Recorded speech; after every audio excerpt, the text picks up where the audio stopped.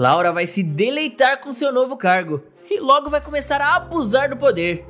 Ela vai até mesmo expulsar José Mendes de sua própria casa, só pra humilhar o ex-patrão. Mas quanto maior o salto, maior a queda, não? E Laura vai acabar percebendo que não deveria ter mexido com a doutora arretada, já que Candoca vai tentar conseguir o cargo de José de volta na base do tapa. Tudo poderá acontecer logo após José acabar expulso da sua própria casa. Candoca vai se oferecer para receber José em sua casa, mas o empresário vai continuar indignado. Ele vai dizer: não tá certo, não, Candoca. Eu comprei aquele apartamento para morar aqui na cidade. Agora eu sou botado para fora da minha própria casa? Eu não posso admitir uma coisa dessas, não. Candoca fala: Mas esqueça isso, José. Esqueça isso, homem. Há males que vem pro bem. Tu não queria aproveitar para ficar mais próximo de mim? Então, tu vem aqui morar comigo e pronto. Tá tudo resolvido. José insiste. Posso, eu posso ir morar contigo, Candoca. Mas não muda o fato de que não foi por escolha minha. Eu fui arrancado da presidência da minha própria empresa e agora expulso da minha própria casa. Se eu não tomar uma atitude agora, o que é que vai ser depois? Vão me arrancar da empresa. Pode apostar que eles vão me obrigar a vender minha parte. Candoca reclama. Onde é que tá o problema nisso, meu amor? É só uma empresa. Tu faz outra se quiser. Além do que, pra que ficar em uma empresa que, que não te querem? Vai viver brigando contra tudo e contra todos, é? José vai dizer. Não é tão simples assim não, Candoca. As coisas não podem ser assim. Essa empresa chegou onde chegou pelo fruto do meu trabalho duro. Eu dediquei 10 anos de minha vida para conseguir todo esse sucesso. Eu não posso simplesmente jogar tudo no lixo. E começar do zero também não é nada fácil, né? Candoca vai argumentar. Mas tu não estaria começando exatamente do zero, né? Não, dessa vez tu já estaria começando com muita experiência na área, não é verdade? Não. Sem contar que ainda que te fossem a vender sua parte na empresa, tu vai sair com um belo de um capital para recomeçar. Ou eu tô errada? José vai pensar por alguns momentos e vai concordar. Não, tu tá certa, Candoca. Tu tá certa mesmo. Eu não sei onde é que eu estaria sem tu em minha vida, vice. Eu me tornei uma pessoa muito determinada. Eu não deixava ninguém atravessar meu caminho. Alguns diriam até mesmo que eu sou vingativo. Mas tu, tu me faz olhar a vida por outros olhos. Graças a tu, Candoca, eu posso parar e pensar se essa batalha vale mesmo a pena. Os dois se abraçam e José fala: Tá certo, tá certo, eu vou parar de brigar contra o mundo. Eu vou mudar pra sua casa e vamos seguir em frente com a nossa vidinha.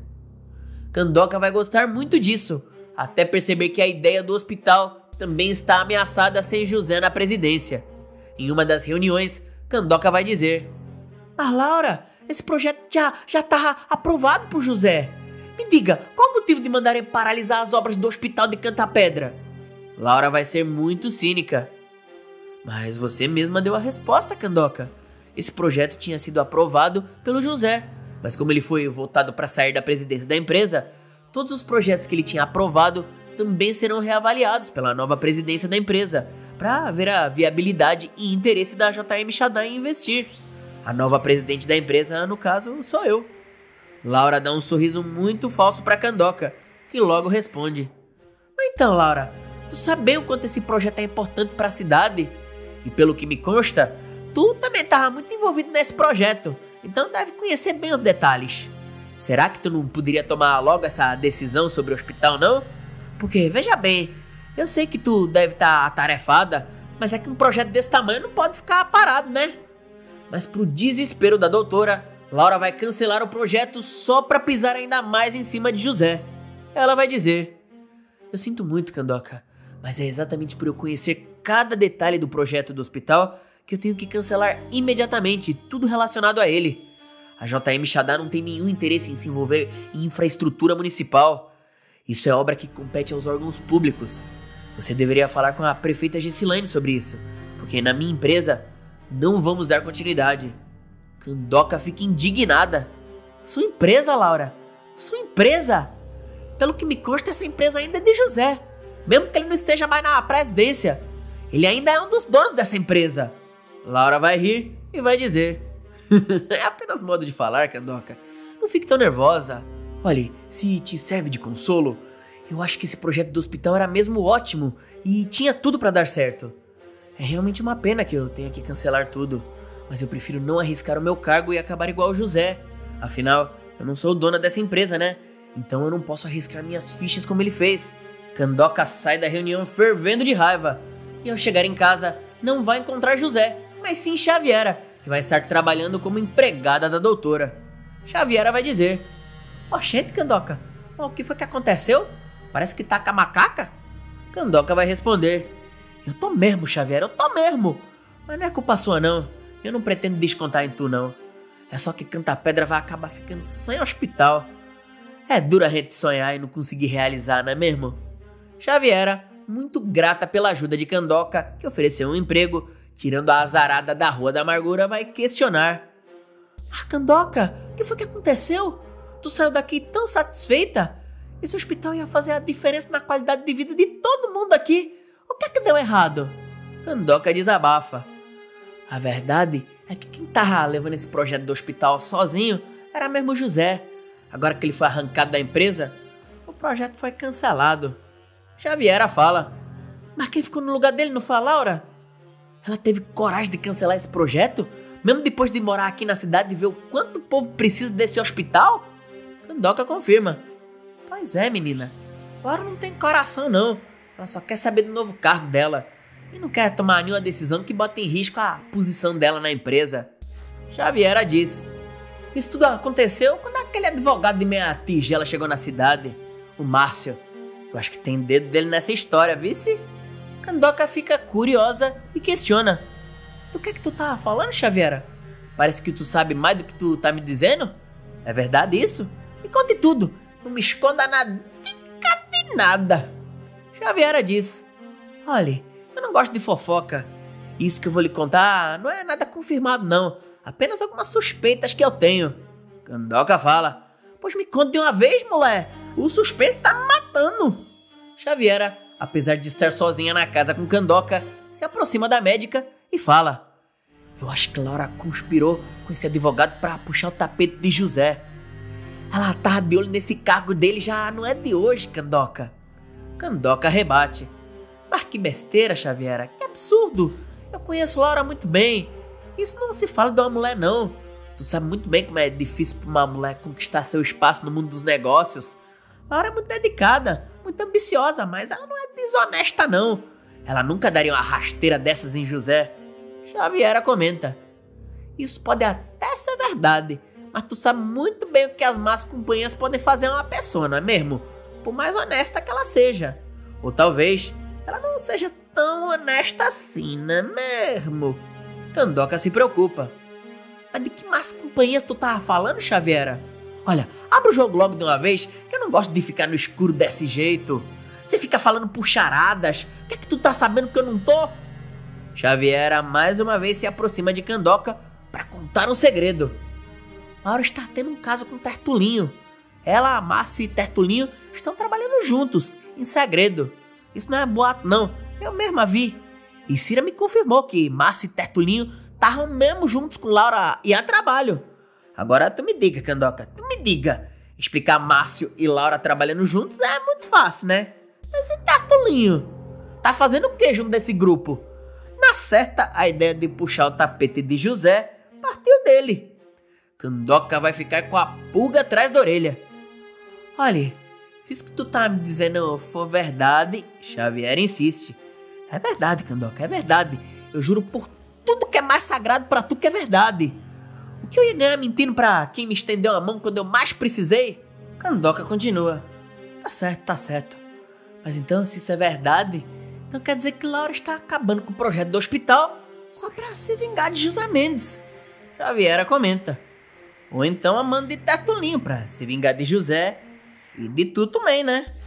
Kandoka garante. O que quer que tenha sido, eu vou tirar essa história limpo. Ah, se vou. Eu vou conversar com o Tertulinho. Ele não vai ter coragem de mentir na minha cara. Não depois de tudo que aconteceu.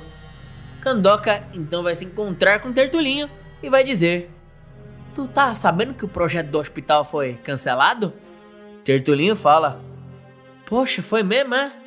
Sinto muito, Kandoka. Ela fica brava. Sente nada, seu mentiroso de uma figa. Tu já tava sabendo.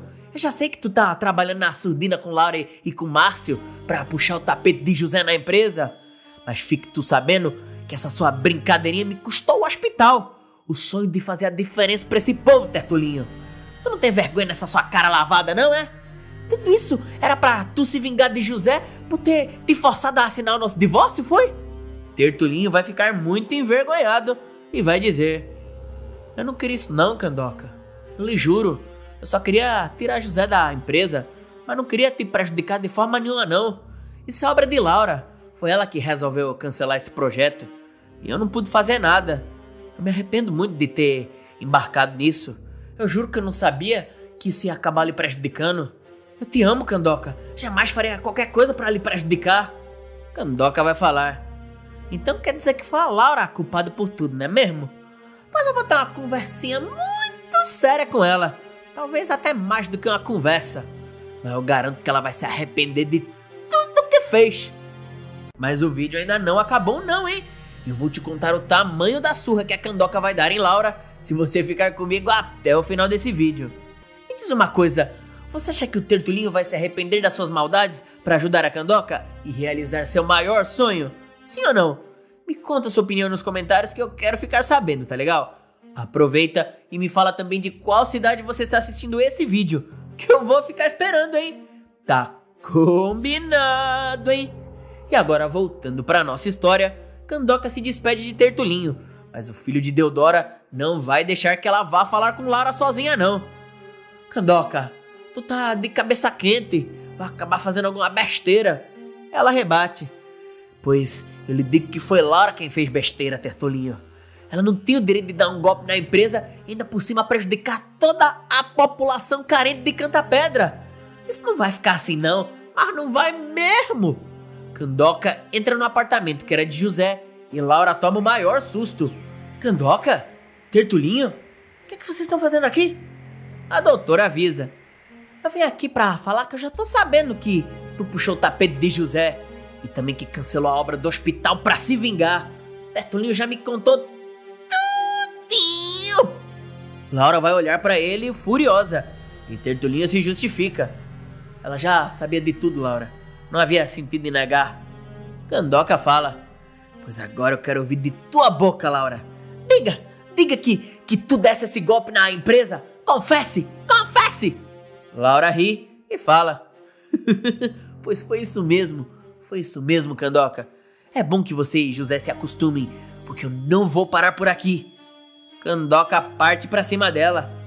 Pois tu vai se arrepender até o último fio de cabelo que eu vou fazer questão de arrancar sua golpista deu uma figa, sua filha deu uma égua barranqueira.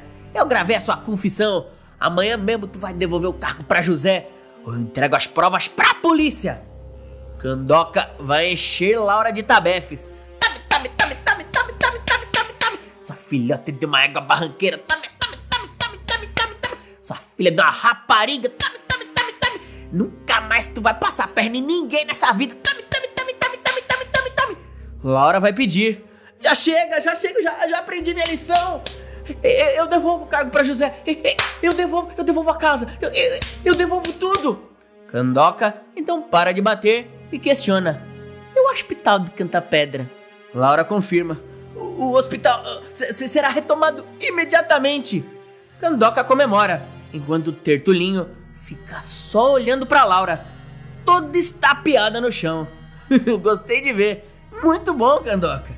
Não se esqueça de se inscrever no canal para ficar ciente de todos os vídeos que eu trago só aqui para você, sempre com muito humor e leveza, como esse aqui, ó, que está aparecendo agora na sua tela. Ele está cheio de novidades e tem mais uma notícia incrível da novela Mar do Sertão. Um grande abraço e até amanhã!